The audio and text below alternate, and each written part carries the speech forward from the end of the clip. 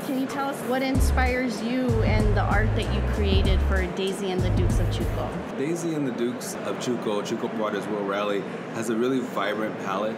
It took over a month to really come up with the palette of colors that I used for the book, which really uh, accentuates a cyberpunk world meets Fast and the Furious kind of story.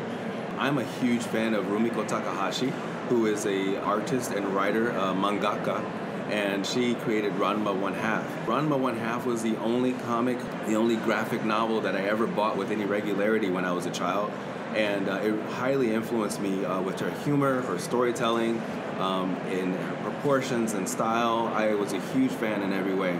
And so that I think was my biggest artistic inspiration, um, along with current artists like LeSean Thomas, uh, who does work for uh, programs like the Boondocks and uh, the Avatar, uh, and also Korra the Avatar.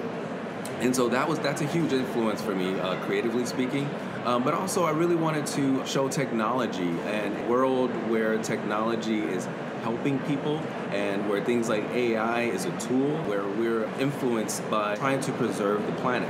Within the book, there's a lot of technology that's actually in R&D at this moment. We might see that in actual our consumer electronics within the next 10 to 20 years, but I wanted to show it as if it was a part of our normal life now. We have 3D printed trains on a Mobius link we have soft screens, we have renewable uh, energy, we have nuclear fusion that is consumable uh, by regular uh, people. And so I really wanted to have that be a, a, major part of the story in order to influence the younger generation to take the final step to actually develop these things. Um, one of my favorite movies as a child was Terminator 2. And in Terminator, there was a liquid Terminator that could turn into any shape. And that design